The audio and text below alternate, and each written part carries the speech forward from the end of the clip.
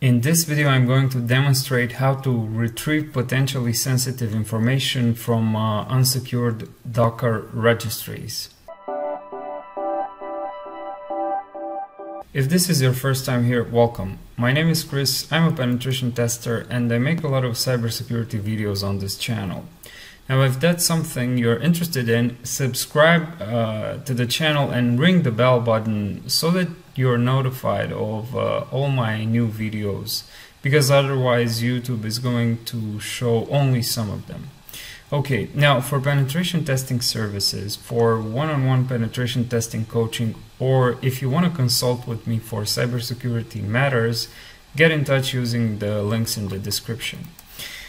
And if you want to learn how to code with Python, check out my course Python Basics in which I teach you the fundamentals of Python that will greatly help you in cybersecurity and penetration testing. Link in the description for that as well.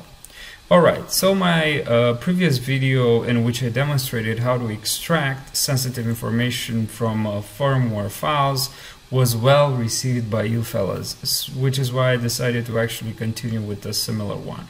So over here I'm back on uh, the Attack Defense Labs website which uh, is an online platform to grow your cybersecurity skills.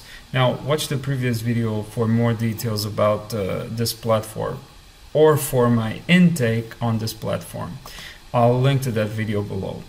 Now in this video we're going to do another challenge which as you can see involves uh, retrieving uh, sensitive uh, information from Docker registries. So um, this would be actually a very good practice for DevSecOps who uh, need to learn how to work with Docker from a security standpoint. So here are here is uh, the description. So we have an unprotected Docker registry which is on the same network as the um, um Kali machine. And uh, in this docker we have some images. Uh, in this registry we have some images and we have the flag hidden in the name of one of these images. And our goal is to interact with the docker registry using curl and retrieve uh, retrieve the flag. And as you can see it says no docker clients are provided and uh, this exercise needs to be solved using first principles. So such as uh, using simple tools uh, so as they suggest over here using curl. So we, we're not actually using clients and we'll see about that. Okay so um, here we uh, there's a nice feature that's been added just a few like one or two weeks ago on the attack defense uh, labs platform um, and this in this case we don't actually I wouldn't say is uh, like super extremely useful because we only have um, we have a network diagram of uh, of what happens over here with this uh, with this challenge so that we could actually better understand it. We have the target, we have ourselves as the attacker machine, and we have the switch. Um, but in other more complex scenarios on the platform, this would be really useful when we have maybe multiple targets or a different way of communicating between ourselves and the targets uh, and so on and so forth. Okay, so our objective is to actually get the flag from within uh, this Docker registry. So we have the lab link over here and if I click on it it's going to take me to a web instance. So I don't actually have to use any virtual uh, virtualizer environment as I uh, discussed in the previous video. So it says um, we also have the instructions over here. Um, we have access to a Kali terminal instance which is this one.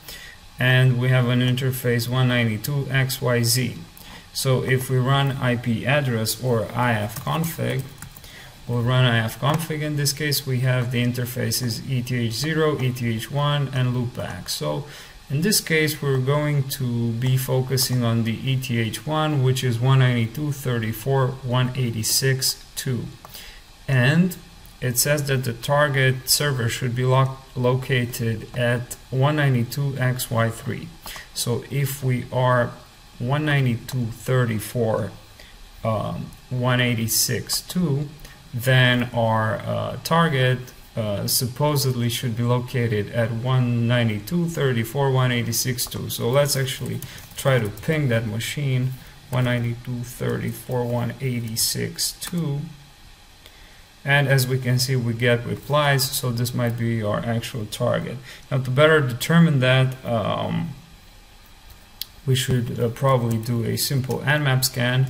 So nmap minus sv 192 34 186 2 and this uh, 192 34 186 2 so it's actually 3 my bad. And this should take like maybe one or two minutes to complete. Uh, as I've already done it I remember that it actually took uh, between one to two minutes. So um, in this case um, if our docker is running on uh, 186.3 we should actually see um, nmap find the port at which this uh, registry runs. So we have it running on uh, port 5000. Honestly, I'm not uh, that good with Docker, so I had to go and look in the official documentation on how to actually interact with these uh, registries. So um, this is where uh, this is the API, so Docker registry HTTP API. As per the instructions uh, or the objective, we actually don't have Docker clients available on, uh, on our Kali instance, which is why we need to act uh, or we need to be taking action using first principles. This would be, in my understanding, using basics, uh, basic tools. And since we're in the terminal over here, we could use curl. So Nmap actually found Docker on port uh, 5000 and our goal would be our first goal would be to actually um, i don't want to overcomplicate this because this is actually really simple. So according to the documentation uh, we first want to list uh, the repositories uh, that uh, are on are running on that instance. So if i do control f and actually look for list uh, listing i guess listing repositories we should uh, be able to do that using the v2 catalog.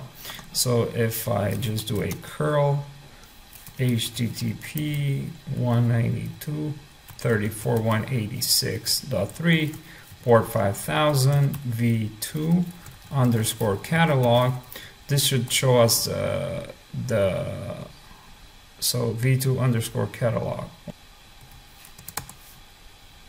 okay yeah so I I uh, wasn't supposed to actually add the forward slash. So we can see the repositories Alpine, Flag, and Ubuntu. Now, uh, obviously our focus over here is the flag one, but uh, for the sake of actually exemplification, uh, let's look into all three repositories or all three of these repos. Doing some more uh, reading of the documentation, I found out that we can look deeper into uh, these repos using the tags list so list uh, listing images tags using the uh, this tags list parameter if we do a curl http 192.34.186.3 for 5000 and we are still on v2 and we have to specify the the repo so alpine alpino alpine tag or um, tags actually list. And we can see that we only have the latest tag and then if we look into the Ubuntu, so instead of Alpine, we look into the Ubuntu. We can see that we have uh, different versions of Ubuntu. And of course, if we look at our uh, flag over here, we can see that we have uh, the flag, which is under tags.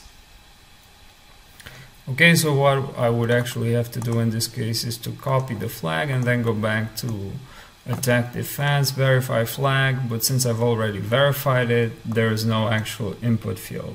Unless I uh, would reset this, um, this challenge so that I could actually run it one more time or run it again. Okay, so that's actually how you interact with uh, or how you can interact and retrieve potentially sensitive information from uh, Docker registries. Uh, now, even though this exercise, as you uh, have seen, was extremely basic, this actually um, as I've told you, made me look into the official Docker documentation and learn how to actually interact with uh, with it. And this is a simple real-world scenario of an unsecured Docker registry. Now, I've provided links in the description for those interested in how to actually mitigate or avoid the, this type of a scenario uh, and how to secure Docker uh, registries. So you would be finding uh, these links in the description of this video. Now, question, have you ever been in the situation of pen testing Docker? Comment down below uh, and let me know. Now, before I let you go, I would really appreciate if you shared this video with your uh, cybersecurity fellas on social media so that we can grow this channel uh, together. Please also don't forget to look in the description uh, of this video for a discount on uh, my Python Basics course for pen testing services and for one-on-one -on -one coaching. Until next time, thank you for watching.